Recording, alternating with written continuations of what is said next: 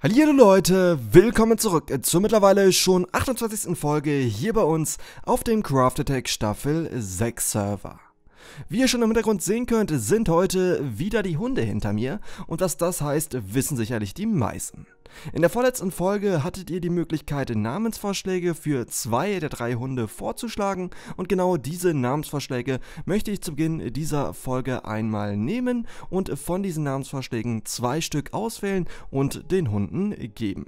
Insgesamt sind über 300 Namensvorschläge reingekommen mit den verschiedensten Namen, mit Anspielungen, mit lustigen Sachen und da es für mich persönlich super, super schwer war, das irgendwie gerecht ja rauszusuchen, welchen Kommentar wir nehmen zu wollen, bin ich hingegangen, habe einfach mit einem Zufallsgenerator mir Kommentare anzeigen lassen, davon dann neun Namen ausgesucht und diese neun Namen findet ihr hier einmal in meinem Inventar und dazu natürlich auch diejenigen, die diese Vorschläge rausgesucht haben. Damit wir das jetzt hier im Video noch etwas zufälliger gestalten können, möchte ich einmal hingehen und mit Hilfe eines Droppers ganz zufällig auswählen, welchen Hund wir wie nennen. Aktuell sieht es so aus, dass einer der Hunde Kia heißt, der zweite Hund Ninus heißt und der dritte Hund Mia heißt. Den werden wir nicht umbenennen, denn so heißt mein eigener Hund. Das heißt, wir gehen jetzt hin, tun einmal die neun zufällig ausgewählten Namensvorschläge in den Dropper rein, bringen hier einmal einen Schalter an und mit jedem Umlegen des Schalters sollte jetzt hier zufällig ein neuer Name ausgespuckt werden.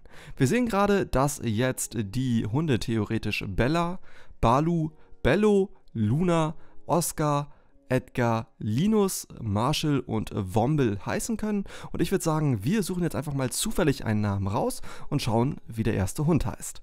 Der erste Hund heißt Oscar und vorgeschlagen hat das Kian-ATO und der zweite Name für den zweiten Hund wird sein Womble vom The Womble und ich würde sagen, wir benennen die Hunde jetzt einmal um. Ihr seht schon, ich habe dazu einmal den Anvil mitgenommen und ein Nametag bzw. zwei Nametags, sodass wir jetzt den ersten Hund einmal in Oscar umbenennen können und den zweiten Hund in Womble nach The Womble. Okay, das machen wir jetzt einmal. Womble soll der zweite Hund heißen und ihr seht, dass wir jetzt hier einmal die beiden Nametags vorbereitet haben. Das heißt, Kia wird jetzt umbenannt in Oscar, Sitz und Ninus wird umgenannt in Womble und auch hier einmal Sitz. Die anderen Namensvorschläge, die jetzt hier nicht genommen wurden und auch die, die in den Kommentaren sind, würde ich erstmal euch bitten, dort zu lassen. Ich werde mir die zur Seite legen, beziehungsweise irgendwann mal wieder zufällig auswählen, wenn wir zum Beispiel ein Pferd oder einen irgendeinen anderen Mops umbenennen müssen.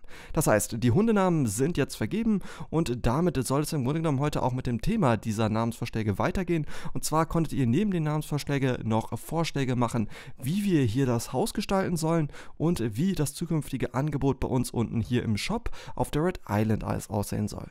Genau diese beiden Sachen möchte ich heute machen. Wir gestalten einmal das Haus neu und gehen dann einmal in den Shop und schauen, welche Items wir anbieten. Bevor wir jedoch damit beginnen, möchte ich zuallererst einmal noch auf eine kleine Sache eingehen, die sicherlich dem einen oder anderen von euch aufgefallen ist. Und zwar gab es diese Woche nur drei Videos und nicht wie versprochen mehr Videos. Der Grund dafür lag einfach darin, dass ich diese Masterbewerbung, die ich jetzt noch machen muss bis Ende Februar, deutlich, deutlich unterschätzt habe und das Ergebnis war, dass ich ja für jede Bewerbung, und ich schreibe echt einige Bewerbungen für den Master, super, super viel Zeit draufgegangen ist. Und ich bin damit leider immer noch nicht durch. Das heißt für euch, dass ich keine Zeit habe, hier in die Minecraft-Videos zu investieren. Ich hätte sehr, sehr gerne mal wieder Tutorials gebracht, an der Redstone Farm weitergearbeitet mit Josef. Das geht aktuell aber noch nicht. Und da ich, wie gesagt, am 16. noch eine Schlüsselqualifikation als letzte Prüfung des Studiums und äh, auch noch einen Urlaub anstehen habe, wird es im Februar aller Voraussicht nach auch nicht wirklich viele Videos in den Wochen geben. Danach hoffe ich aber mal, ich verspreche es jetzt in diesem Fall nicht, wird es aber so sein, dass es dann äh, wieder vermehrt Videos geben wird. Natürlich auch Tutorials und Redstone Farm Videos und eventuell auch einige neue Projekte. Ansonsten gibt es, bevor wir jetzt gleich hier mit diesen angesprochenen Sachen loslegen, auch noch ein, zwei Kleinigkeiten, die sich zwischen den Folgen getan haben. Und zwar seht ihr hier einmal, dass ich die Karte geupdatet habe. Ich bin einmal über die ganze Insel, beziehungsweise beziehungsweise über den Kartenbereich hier um die Hauptinsel herumgeflogen, habe die Karte geupdatet. Das geht mit der Elytra und den Raketen wirklich super gut, super schnell im Vergleich zu vorher. Und wenn ihr Lust habt, könnt ihr jetzt hier einmal das Video pausieren und euch angucken, was sich hier auf der Karte so getan hat. Ansonsten sieht man aber an den gröbsten Veränderungen, dass sich hier vor allem in der Tech Town einiges getan hat. Bei Zinus in der Base hier den um, umbearbeiteten Swamp-Bereich von Kevin, dann hier bei der Stadt dem Eisernen Pakt und ansonsten hat sich hier auf dieser Seite, auf der rechten Seite zumindest, nicht viel getan.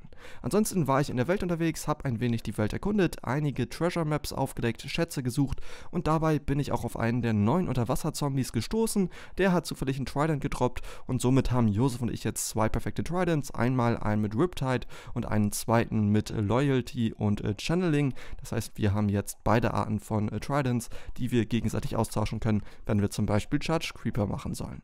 Ich würde sagen, ich gehe jetzt noch einmal kurz in die Kommentare. Und dann sehen wir uns gleich zuallererst einmal oben im Haus wieder und dann würde ich sagen, gestalten wir das Haus um, beziehungsweise besprechen zuallererst dort einmal die Pläne. Ich bin jetzt gerade nochmal die Kommentare unter der Hausbaufolge durchgegangen und da waren wie gesagt ziemlich gute Vorschläge dabei und davon möchte ich jetzt nun äh, wiederum einige umsetzen. Das Haus besteht aus zwei großen vollen Etagen, dann einmal hier der Kelleretage, der ersten äh, Dachgeschossetage und dem kleinen äh, Raum, der da ganz oben drauf ist und genau diese Räume wollen wir neu gestalten. Für den Keller habe ich mir einen ziemlich, ziemlich coolen Vorschlag rausgesucht, der mir persönlich sehr, sehr gut gefallen hat und auch in meine eigene Idee gepasst hat. Und zwar wurde gesagt, dass wir hier die Rückwand im Kellergeschoss entfernen sollen und ein Aquarium platzieren wollen. Und ich denke, das ist eine ziemlich coole Sache, da ich selber noch gar nicht so in den neuen Biomen war, keine Fische gefangen habe und ich denke, so können wir mal einige neue Sachen erkunden, gleichzeitig aber auch etwas Cooles einbauen. Die erste Untergeschossetage, die hier ist, die werden wir umgestalten, dass wir die ein ein wenig räumlich einrichten. Dazu werden wir später kommen und die erste richtige Etage, also die Erdgeschossetage, wo auch der Ausgang nach hier oben ist, die persönlich von uns wahrscheinlich nicht so viel als Durchlaufetage genutzt wird, möchte ich auch auf dem Vorschlag basierend von euch so umgestalten, dass wir hier einen großen Sitzungsraum mit einem großen Tisch haben und auf diesem Tisch möchte ich Karten flach platzieren, sodass man hier einmal den Crafted Server von oben sieht. Die obere Etage, die hier ist, werden wir ein wenig als Ausrüstung und Kistenraum umsortieren sortieren, sodass wir hier nachher Items reintun können, wie zum Beispiel Rüstungsteile, Verzauberungssachen, die nicht so gut bei uns in den Keller passen. Und hier oben werde ich die Etage so, wie sie ist, erstmal lassen. Eventuell darauf warten, dass die 1.14 rauskommt, um hier eine Glocke anzubringen. Auch das war ein Vorschlag. Ansonsten würde ich jetzt erstmal hingehen, auch dann in diese Ausrüstungsraum, äh, also wo man direkt mit dem Fahrstuhl von unten rauskommt. Dort würde ich zusätzlich äh, noch einmal einen ähm, Schlafplatz anbringen, denn das war ja eigentlich die grundsätzliche grundsätzliche Idee vom Gebäude. Zuallererst würde ich sagen, beginnen wir aber einmal mit dem Aquarium. Ich habe mir rausgesucht, wo hier auf dem Server das Korallenbiom sein soll. Und ich würde sagen, wir fliegen da einmal zusammen hin, denn der Weg ist gar nicht so weit und sollte ungefähr so 1000, 2000 Blöcke von hier gerade in diese Richtung liegen. Und sobald wir da sind, würde ich sagen, gehen wir zusammen einmal auf die Jagd nach ein paar Fischen, die wir ins Aquarium tun sollten. Und so wie ich es bisher gehört habe, ist es wohl so, dass es fast unendlich viele Fischarten gibt oder zumindest so Kombinationen von Fischarten und Looks gibt.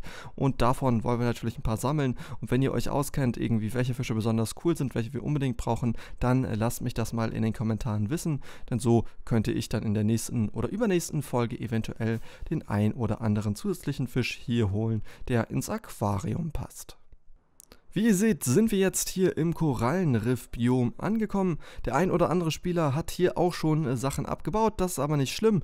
Und wir werden jetzt auch hier auf Fischjagd gehen, wenn wir hier den ein oder anderen Fisch sehen. Ich weiß nicht, hier vorne... Ja, das sieht noch nicht so aus. Das sind Delfine.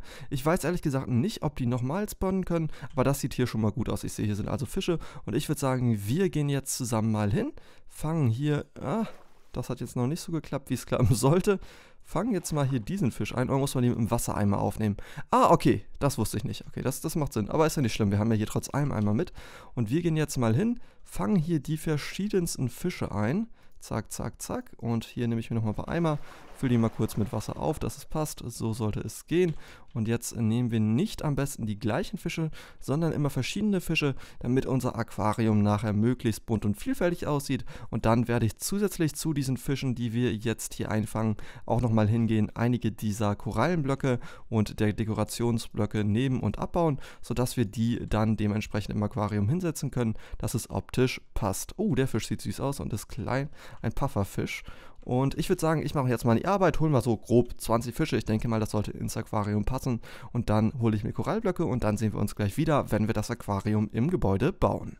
Ich habe jetzt alle Materialien aus äh, dem Korallenbiom geholt, die wir dazu auch benötigen. Ihr seht, wir haben hier ganz, ganz viele verschiedene Fische, dann die verschiedenen Korallenarten, verschiedene Blöcke und auch hier nochmal ein paar Fische und äh, Sea Pickles für die Beleuchtung. Und ich denke mal, dass wir daraus jetzt ein ziemlich, ziemlich cooles Aquarium bauen können. Ich habe mir zusätzlich dazu auch nochmal eine Silk Touch äh, Pickaxe gerade gemacht. Die habe ich nämlich gebraucht, um diese Korallenblöcke abzubauen, ohne dass die absterben. Das war mir vorher so nicht bewusst, dass man das auch nicht mit einem anderen Silk Touch Tool machen kann. Jetzt ist aber alles dafür bereit. Ich würde sagen, wir setzen mal den Kamera-Account auf für eine ja, kleine testweise Indoor-Zeitrafferaufnahme. Normalerweise mache ich das nicht ganz so gerne. Hier beim Aquarium probiere ich das mal aus und ihr könnt jetzt mal sehen, wie dieses Aquarium entsteht.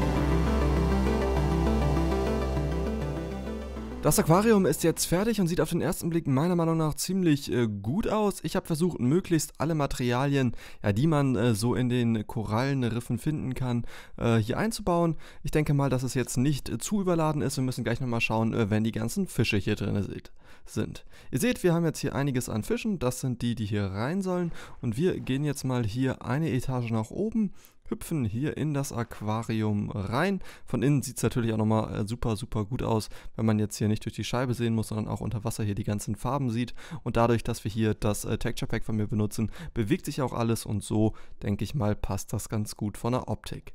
Jetzt müssen wir natürlich hier nochmal die Fische rauslassen. Ich hoffe, dass das einfach geht.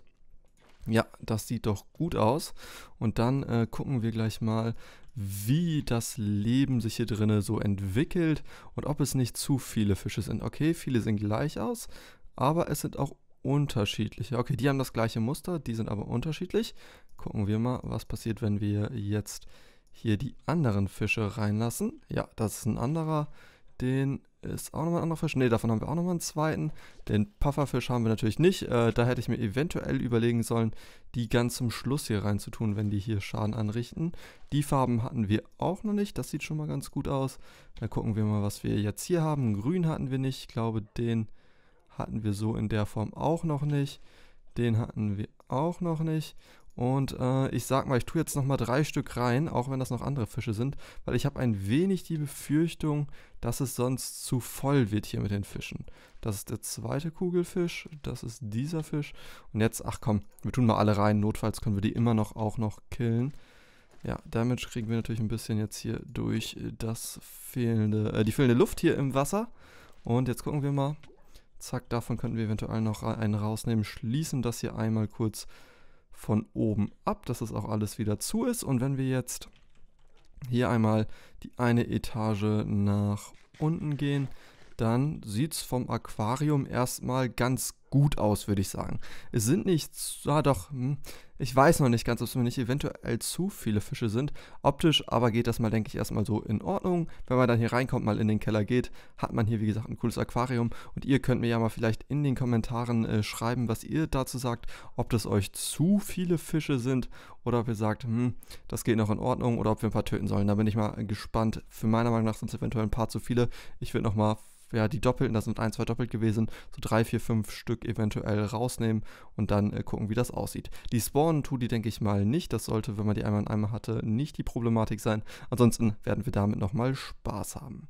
Weitergehen soll es jetzt mit der nächsten Etage. Die Etage, wie gesagt, nicht. Hier möchte ich äh, möglichst wenig in diesen Weg zwischen den Gängen hier runter und dem Netherportal machen oder dem Netherportal machen, denn dieser Weg wird oft genutzt. Ich würde jetzt am liebsten hier mit dieser Hauptetage hier oben weiter weitermachen, denn hier können wir einen coolen Konferenzraum einen Raum reinbauen und das werde ich jetzt machen und den werdet ihr dann gleich sehen. Das Erdgeschoss ist jetzt erstmal soweit fertiggestellt. Die Idee war es, eine große Tafel hier anzurichten, in der man nachher als Spieler sitzen kann und genau das habe ich hier gemacht. gemacht. Ich habe mich jetzt hier an den äh, Spruce Oak Planks, glaube ich, orientiert und diese hier für den Bau benutzt, davon die neuen Spruce äh, Trapdoors genutzt und so einen neuen Tisch entstehen lassen, der hier etwas über dem Boden äh, schwebt, beziehungsweise echt wie so ein Tisch aufgesetzt ist. Und ich denke, wenn man die Klappen jetzt hier nicht öffnet und schließt, sieht der soweit ganz gut aus. Rings um den Tisch herum haben wir dann insgesamt äh, sechs äh, Plätze, wo die Spieler sitzen können. Zwei große Sitzplätze für Josef und mich und zwei andere für die anderen Spieler. Die Sitzplätze bestehen hier aus ganz normalen äh, Baublöcken haben, Blöcken, die ein bisschen dunkler sind, damit hier ein bisschen Kontrast zum sonstigen Holz in der Gegend ist, dann mit Signs an den Seiten begrenzt sind. Hinten werden sie von einer Tür gestützt. Und damit die Sitze nicht äh, zu langweilig aussehen, habe ich denen äh, nochmal ein paar Banner verpasst, damit das farblich auch hier und da ein paar Akzente gibt. Und die spiegeln sich halt von der Wand hier auf den Sitzen wieder. Wenn ihr die Banner hier seht, habe ich mal eine kleine Bitte bzw. eine Frage für euch. Und zwar gibt es sicherlich einige äh, bei euch oder in der Community, die sich mit Banner-Designs auskennen. Es wäre sehr, sehr cool, wenn jemand ein Banner designen würde, was zu Josefs und meiner Base passt. Vielleicht habt ihr da irgendeine coole, verrückte Idee und wenn ihr diese Idee habt, könnt ihr die auf meinem Discord posten. Viele wissen das nicht oder viele schauen auch nicht in die Videobeschreibung, das weiß ich. Es gibt einen Discord von mir, der ist unten in der Videobeschreibung, irgendwo bei den ganzen Links verlinkt, mein Discord oder so steht da. Und wenn ihr auf diesen drauf geht, euch anmeldet, dann kommt ihr erst auf mein Discord, dort habt ihr die Möglichkeit, mir Fragen zu stellen, äh, Diskussionen zu starten, alles Mögliche. Und dort gibt es einen Channel, der heißt Bauideen. Und wenn ihr Lust habt, ein cooles De Design für Banner entworfen habt, dann schreibt das mal da rein, postet ein Foto in diesen Chat rein und sagt, wie ihr das gecraftet bzw. das Banner gebaut habt. Ansonsten ist der Raum hier von den Decken nochmal ein wenig abgestützt worden. Hier vorne am Eingang haben wir ja, Bookshelves, damit auch hier und da das mit den Ecken hier nicht so ganz komisch aussieht. Und wenn man jetzt hier an den Seiten einmal entlang geht, haben wir hinten in die Ecken, dass sich hier leider die Bookshelves mit dem Glas verbinden würden, wir Armor-Stands hingesetzt mit irgendwelcher Rüstung, die noch so übrig war. Ansonsten ist der Raum ziemlich so geblieben, wie er ist. Ich habe nochmal an den vier Seiten des Tisches ein paar Stützen eingefügt, damit der Raum etwas mehr Struktur bekommt. Und ich denke mal, für meinen ersten Interieurversuch in dieser Staffel sieht es halbwegs in Ordnung aus. Wenn ihr hier Verbesserungsvorschläge habt, sagt es wie gesagt, könnt ihr dann auch auch hier sehr gerne unter dem Video posten oder dann einfach Verbesserungsvorschläge, wenn ihr coole habt, die gerne auch in den Bauideen-Chat auf meinem Discord-Server posten. Ansonsten sind die anderen Etagen noch unberührt. Das werden wir leider in dieser Episode auch nicht schaffen, da die Episode schon ja einigermaßen lang ist, habe ich gesehen. Und ansonsten ist in der nächsten Episode also dann die obere Etage dran und die erste Untergeschossetage dran, die dann auch hier dementsprechend umgestaltet werden muss. Und wenn ihr auch dafür Ideen habt, schreibt das auch sehr, sehr gerne in die Kommentare. Ansonsten möchte ich jetzt zum Ende der Folge noch einmal rüber zum Shop gehen, denn dort hat sich auch etwas getan. Und zwar hatte Josef die Trading-Maschine, die wir gebaut haben, ein wenig umgeleitet, dass die Trades nicht unten rauskommen, sondern oben rauskommen in der Kiste. Und das ist eine ziemlich coole Sache, denn so ist das für den Nutzer nicht wirklich kompliziert. Er kann das Ganze wesentlich einfacher verstehen. Und so sollte das mit dem Traden, wenn dann irgendwann mal hier mal Kunden reinkommen, auf jeden Fall alles einfacher und besser laufen. Und ich denke, keine Fragen sollten entstehen. Das heißt, man kommt jetzt als Kunde hier rein, wir müssen nochmal schauen, dass wir das mit dem Licht hier automatisch verbinden. Und ihr seht, die Dropper am Boot sind verschwunden und sind jetzt hier vorne hin äh, gelandet, die können wir auch theoretisch nochmal irgendwann umbenennen. Und wenn man jetzt einen Slime-Block kaufen möchte, sagen wir mal, ich möchte jetzt acht Stück kaufen, tue ich hier acht Eisen rein. Und ihr seht direkt, dass wir jetzt auch hier acht Slime-Blöcke bekommen, was sehr, sehr cool ist. Das heißt, die Trading-Maschine funktioniert, ist einfacher zu benutzen. Dankeschön dafür hier einmal an dieser Stelle an Josef. Ansonsten hatten sich auch einige gewünscht, damit ich nochmal zeige, wie diese Türmechanik hier funktioniert. Ich hatte nämlich letztes Mal nur gezeigt, dass wenn man diese berührt, dass die sich öffnet. Wenn man die wieder schließen will, geht man hier einfach wieder in die Ausgangsposition und dann schließt sich die Tür wieder. Einige von euch hatten auch nette äh, Kommentare zu den Trades geschrieben und eigentlich fast alle waren der Meinung, dass ein Eisenbarren für einen Slimeblock zu wenig ist, wir eher in die Richtung gehen sollten, vier, drei Eisenbarren pro Slimeblock oder ein Eisenbarren für einen äh, normalen Slime. Ich würde sagen, ich hatte mir auch Gedanken zu gemacht. Wir haben halt Slime-Blöcke wirklich ohne Ende. Das ist jetzt kein Item, was uns viel Arbeit kostet. Ähm, ich würde sagen, wir lassen das erstmal so. Das ist ein kleiner Kompromiss. Und ich schaue dann erst einmal, wie, ähm, ja, wie das ganze Verhältnis aussieht. Das heißt, wie viele Leute wirklich was gekauft haben, wie viel Eisen wir, wir hier mit eingenommen haben. Und wenn das alles äh, ja so klar ist, dann äh, würde ich sagen, machen wir das so, dass wir die Preise langsam erhöhen oder senken, je nachdem wie viel gekauft wird. Wenn besonders viel gekauft wird, machen wir es teurer und wenn nicht, dann nicht. Der zweite Trade, der hier vorne reinkommen soll, den werde ich auch zwischen den Folgen einrichten. Und zwar hatten sich viele gewünscht, dass äh, wir unsere Kelp-Blöcke verkaufen. Auch da werden wir dann einen Trade machen, irgendwie ein Eisen für einen Kelbblock. Ich denke mal, das sollte in Ordnung gehen. So kriegt man dann ziemlich guten Brennstoff, der eine gute Brennpower hat. Viele andere kleine Trades wurden auch genannt. Die werde ich hier Stück für Stück zwischen den Folgen in die nächsten Kisten reintun. Und ich denke mal, dann können wir den Shop eröffnen. Eventuell habt ihr eine Idee, wie wir den Shop promoten können. Ansonsten seht ihr, dass sich hier unten was getan hat. Hier entsteht ein großes Labor, was Josef gerade am Bauen ist. Und hier werden wir auch die Trading-Maschinen anbauen, die ich in der vorletzten Folge angesprochen habe. Denn die werden dann verschiedene Verhältnisse fürs äh, Tauschen beinhalten. Und ich denke mal, dass so der Shop nochmal dann ein bisschen interessanter ist und wir auch variablere Preise setzen können. Ansonsten soll es das heute für die Folge gewesen sein. Ich bin gespannt auf eure Ideen auf dem Discord. Wenn ihr meinen Kanal noch nicht abonniert habt, würde ich mich sehr über ein Abo freuen. Ansonsten lasst die Kommentare da. Ich bedanke mich an dieser Stelle fürs Zusehen und wir sehen uns dann in ein paar Tagen wieder zur nächsten Craft Attack Folge. Ciao Leute!